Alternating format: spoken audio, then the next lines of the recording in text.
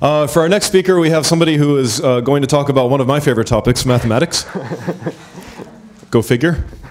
That's a bad pun. Uh, please give a warm round of applause to Kristjan Korjus.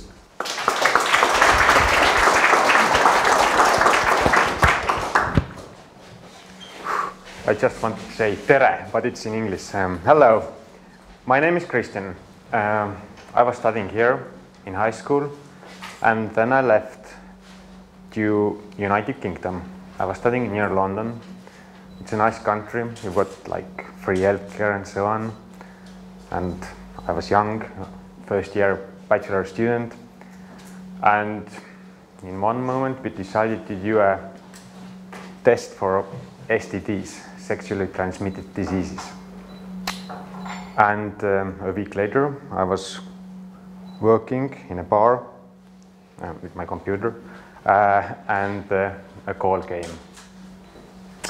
And it was it was my like first couple of months there, and my English wasn't good. I didn't understand it.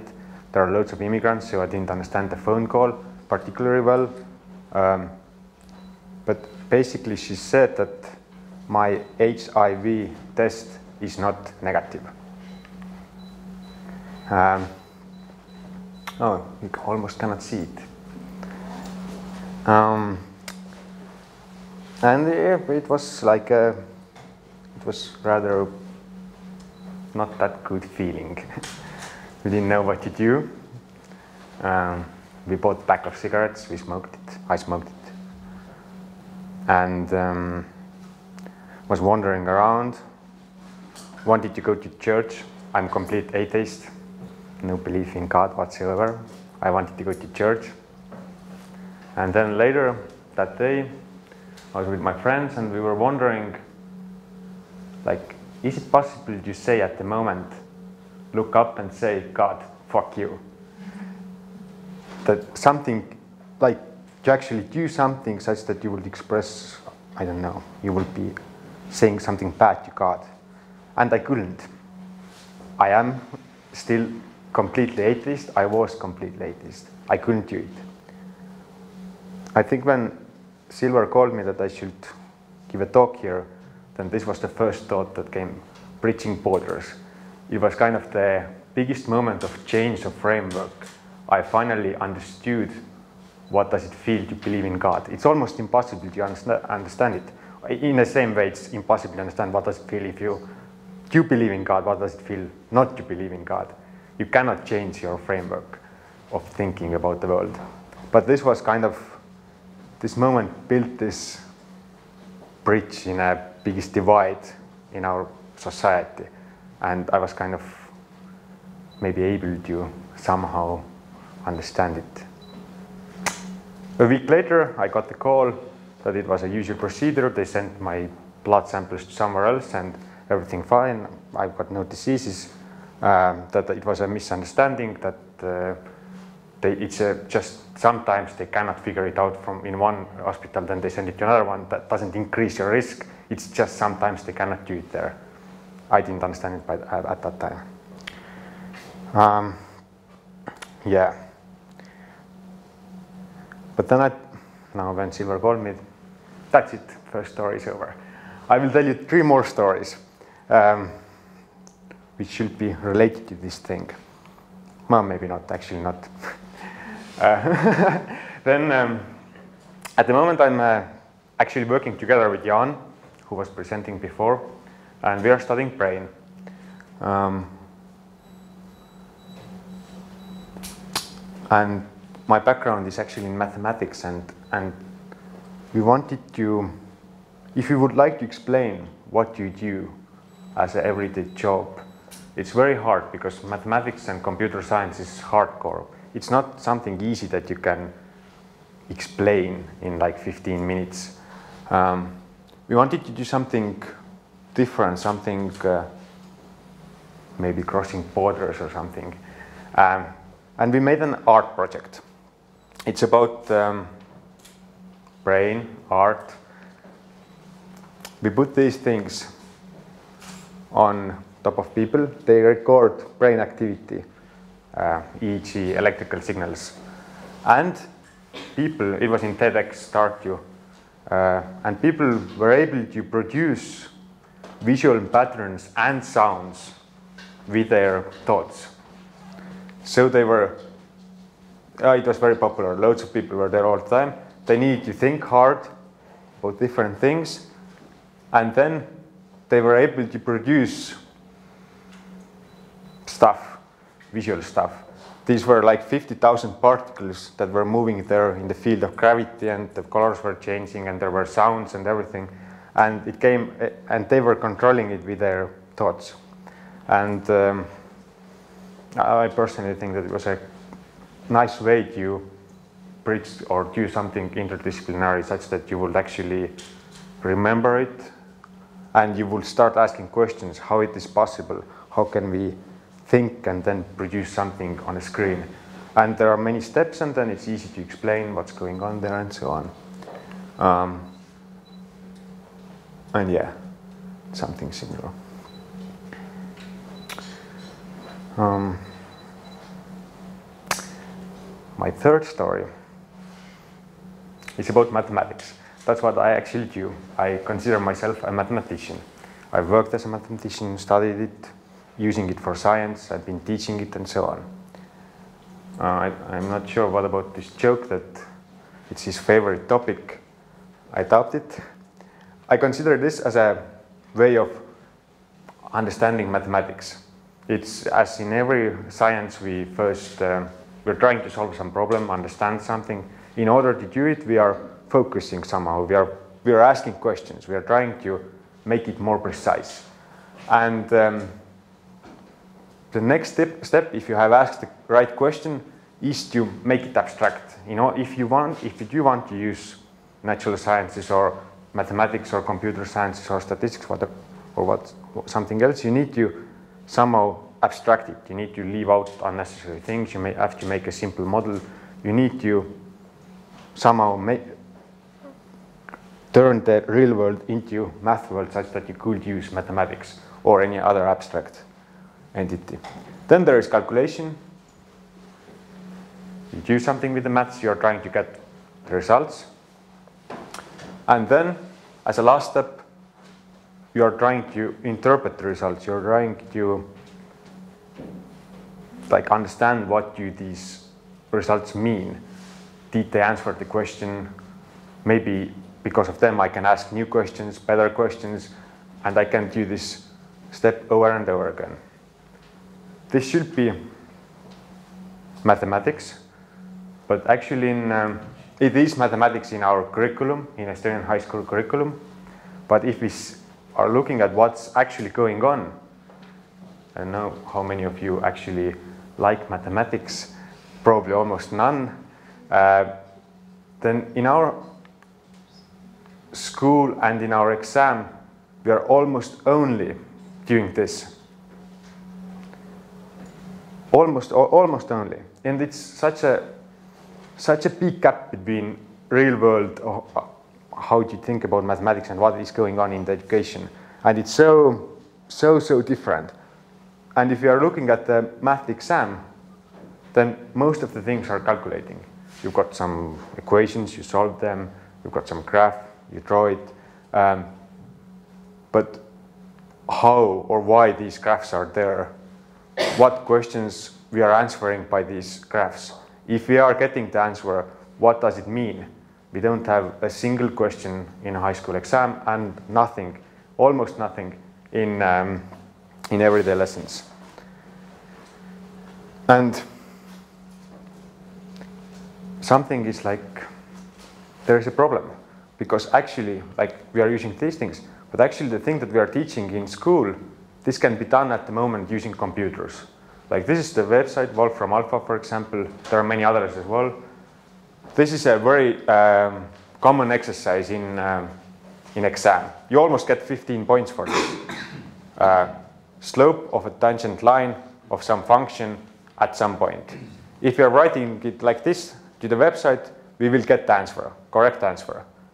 Um, so in some way, or our, we are in high school or in education, we have we are only doing the calculation part and actually this calculation could be done by computers already. We don't need it. Um, and,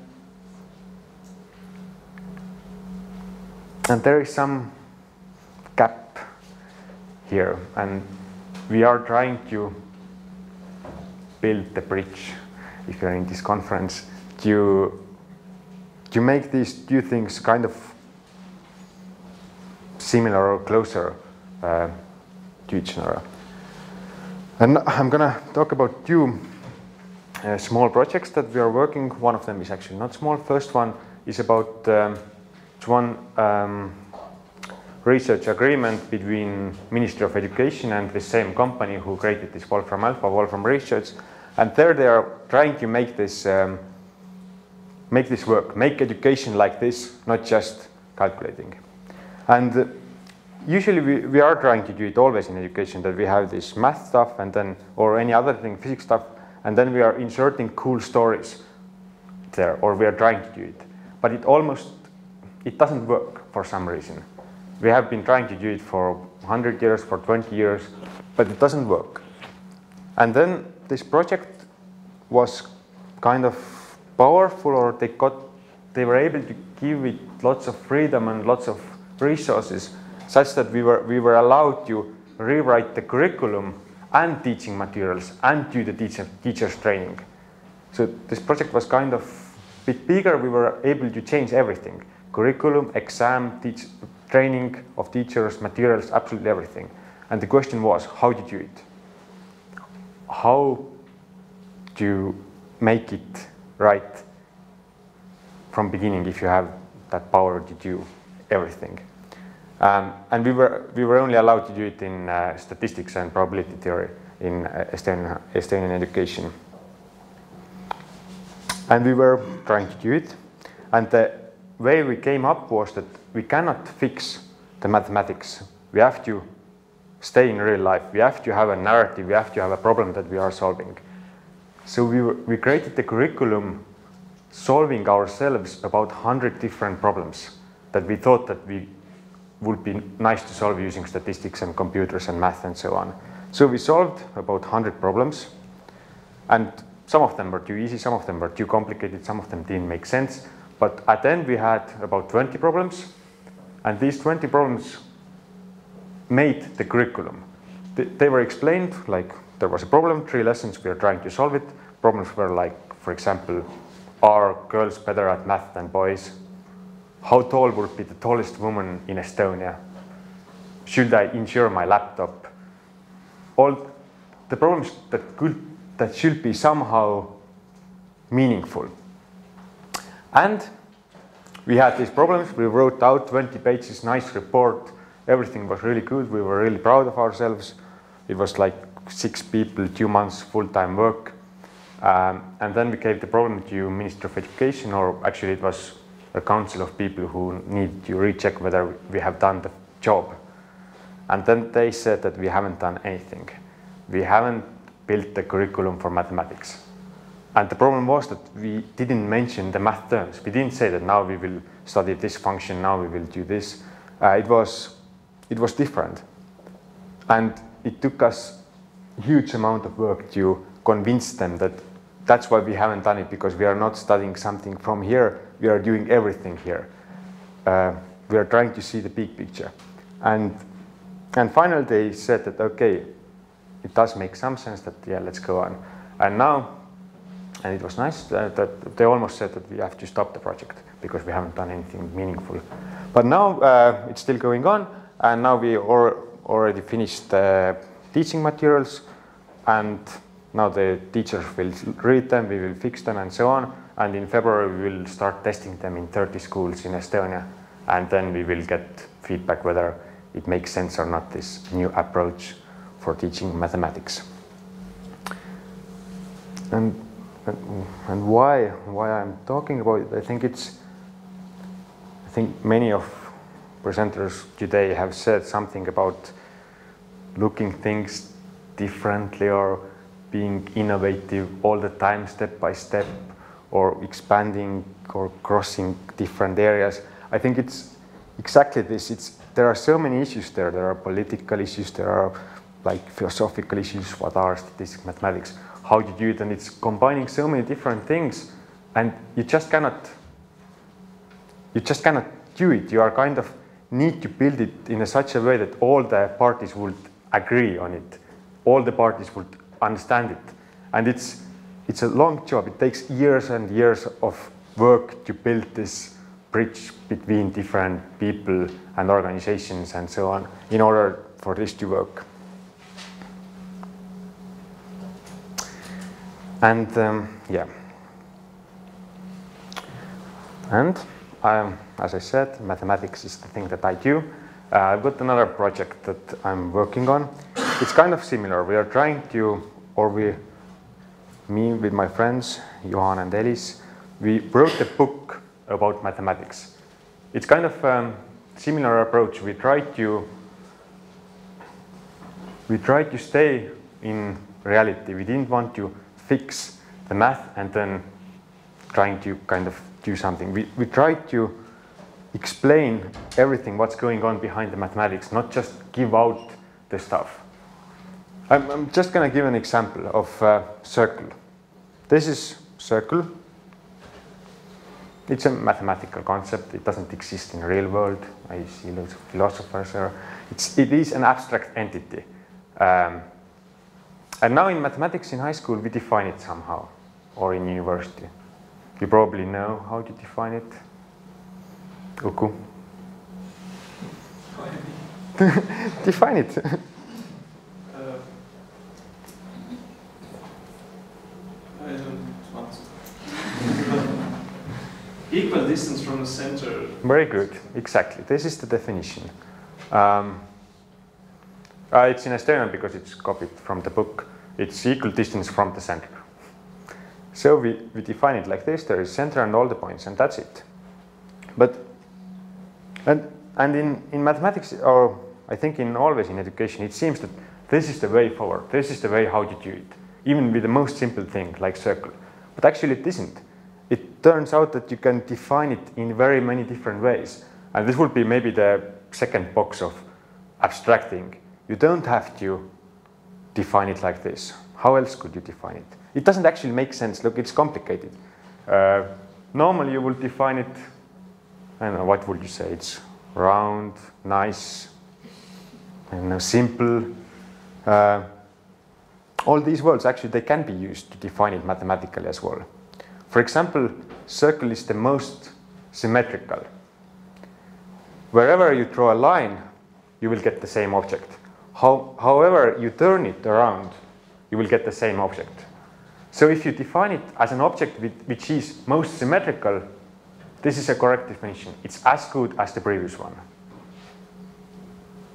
And actually we can invent this ourselves. We could like uh, define it ourselves. Um, what else? It's, I said it's kind of most basic or simple. Um, if we would have a like a rope and we would like to get put put the rope on a table and we would like to get the this like biggest or largest area using that rope, then we will get the circle. So it's the maximum area for a given uh, perimeter, for a given rope. And it's, it's again definition of a circle.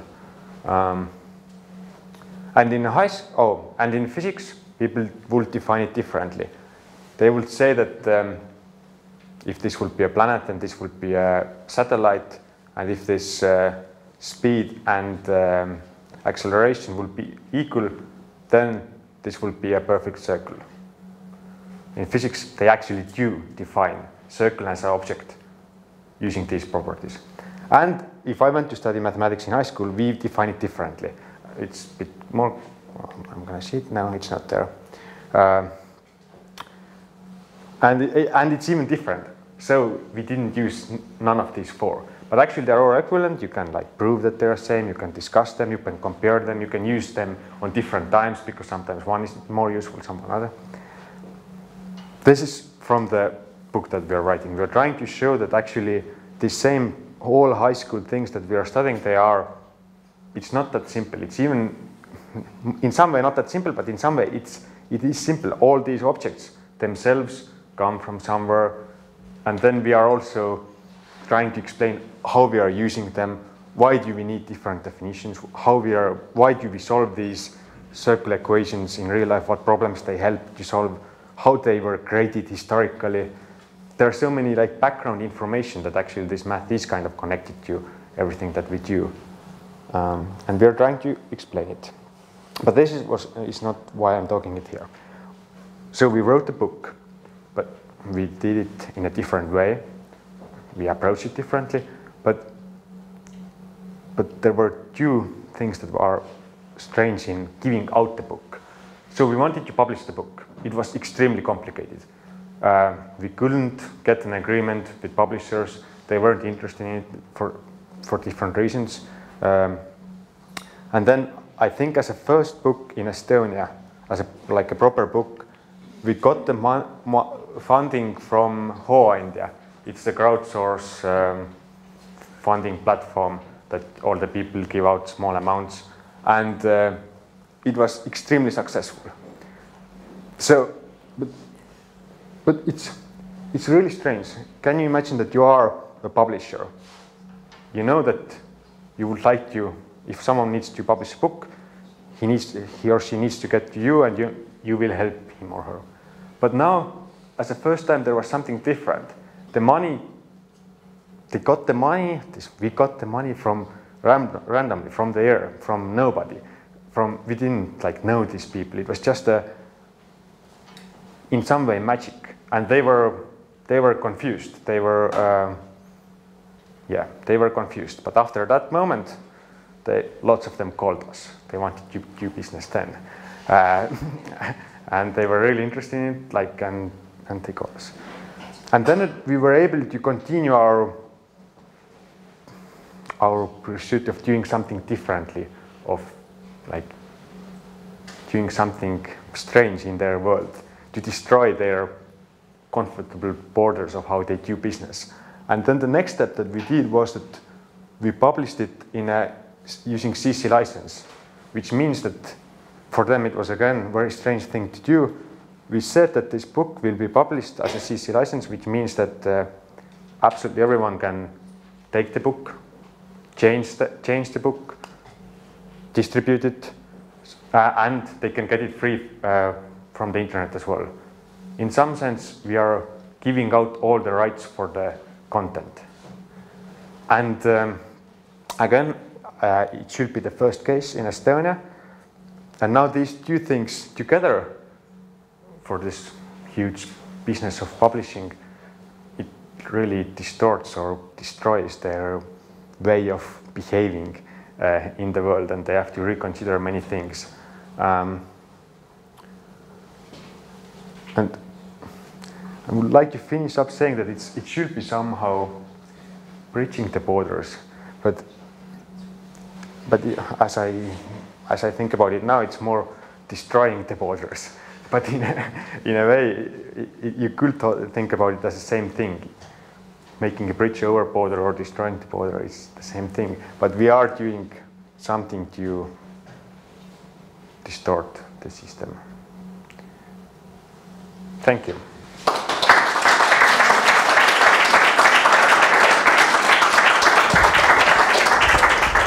Thank you very much, Kristjan. Are there any questions? Would anyone like to ask a question? Yes.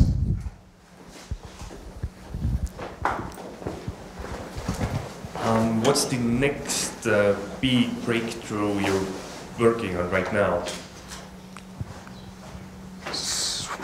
In what? In which area? Um, Maybe know, you can skip the first one out of these four, but. No, I just mean like, uh, what's the next uh, area of business you want to start? Area of business.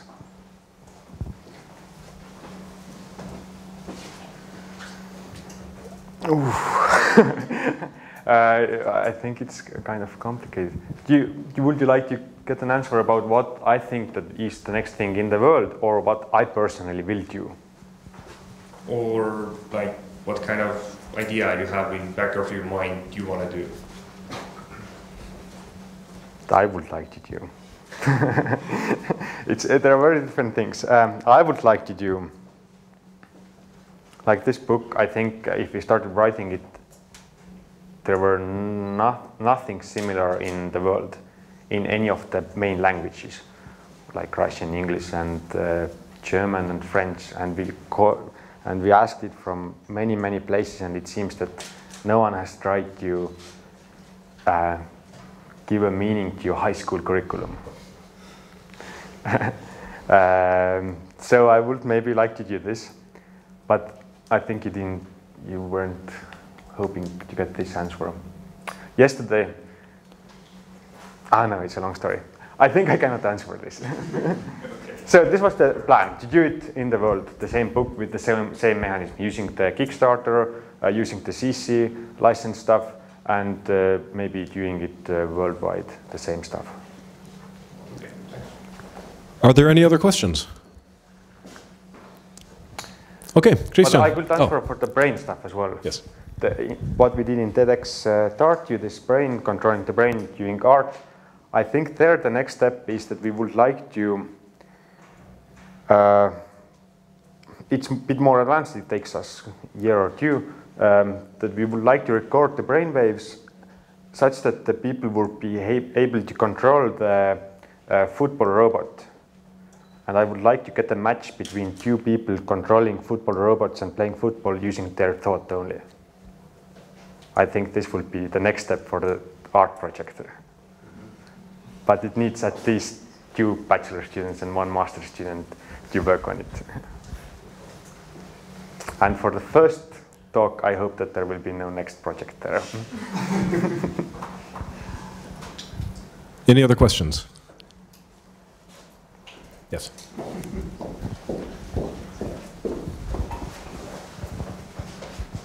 Could you give a fun example of a fun statistical uh, problem solved? I think the very, very first problem that uh, they will start doing it in seventh grade, they're trying to answer a question, am I normal? What? Am I normal?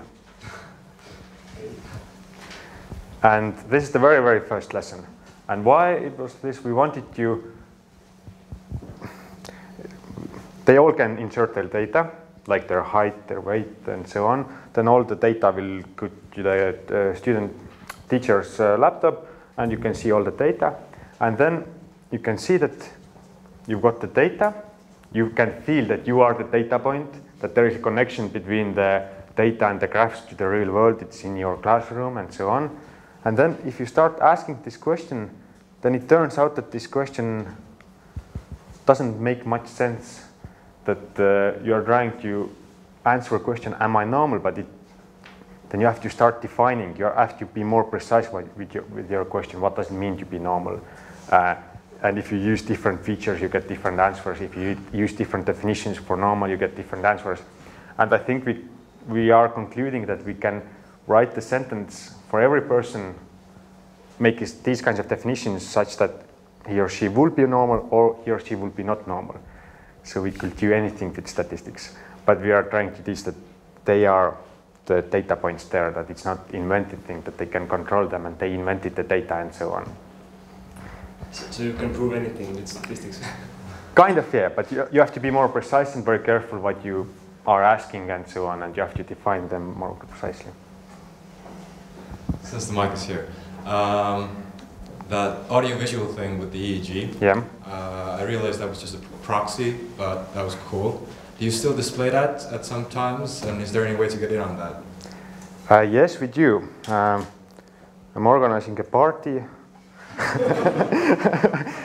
soon, in like a month's time, uh, uh, and uh, we will. It will be open there, but it is a party, party, not a conference.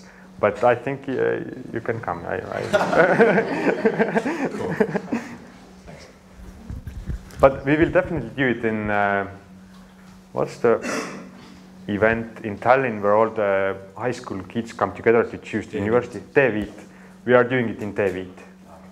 So people can uh, try this on, they can use their thoughts to control something, and then we can discuss like math stats and computer science behind it, how we are actually doing it. Yeah, that should be a hit.